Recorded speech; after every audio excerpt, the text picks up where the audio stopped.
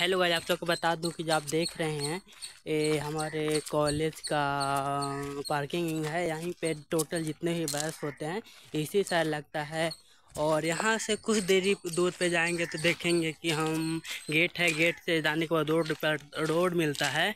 और ये है जो मेरा work elect workshop lab workshop lab है। इसी साइड हमने वर्कशॉप किया था।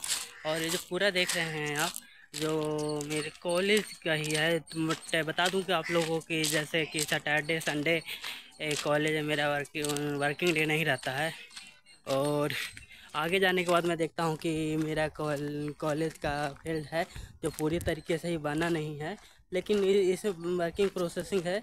और प्रोसेसिंग कुछ दिन में मतलब एक, एक हम लोग निकल जाएँगे तब तक तैयार होगा या नहीं होगा तो हम अंदाज़ा नहीं लगा सकते। और ये साइड तो देख रहे हैं।